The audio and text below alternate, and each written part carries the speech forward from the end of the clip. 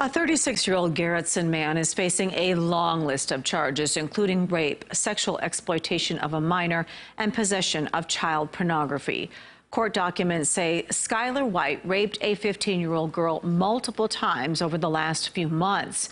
The victim told authorities she posted a listing on Facebook looking for people who would pay for her cleaning services. White responded to her post. The victim told investigators the two had sex at least 25 times. The victim also said White choked her a couple of times and put a pillow over her face if she screamed.